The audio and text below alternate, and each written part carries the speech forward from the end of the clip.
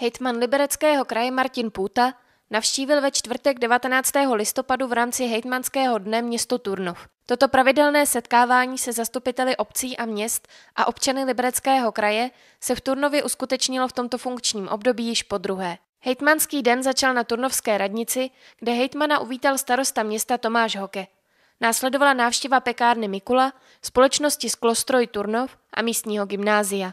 Ranní setkání na radnici s panem starostou a oběma paními místostarostkami byl vlastně takový začátek. Eh, mluvili jsme o všech možných, o všech možných tématech a jsem se taky ptal na to, co se Turnovu eh, a jeho vedení povedlo. Tak já myslím, že vedle viditelné, dokončené stavby eh, nového kluziště a zimního stadionu, který, který už funguje a který Turnov postavil za své peníze, což je v dnešní dotační době skoro, skoro výjimka, tak taky vnímám to, že pan starosta se snaží objíždět jednotlivé části města a diskutovat s občany o tom, co, co je v té konkrétní části Turnova trápí, co je štve, co by chtěli, aby, aby bylo jinak.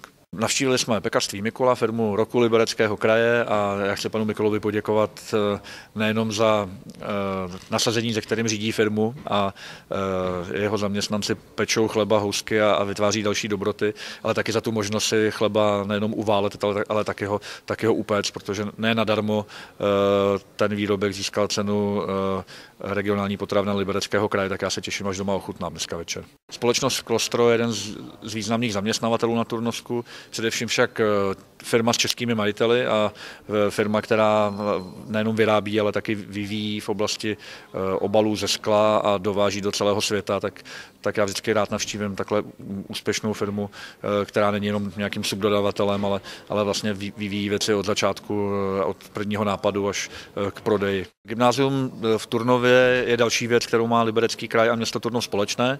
Liberecký kraj je zřizovatel gymnázia, ale budovy patří historicky městu. Eh, tak jsme s panem starostou si poslechli eh, od pana ředitele, eh, vlastně jaké má starosti, co, co by bylo potřeba v budově ještě opravit. Viděli jsme fasádu, která není úplně ideální a zase na druhou stranu musím ocenit a poděkovat městu za to, že budova má komplet vyměněná okna a trochu jsme diskutovali se studenty o kraji, o Turnově a o, o tom, co je zajímá. Myslím, že to bylo, že to bylo zajímavé setkání.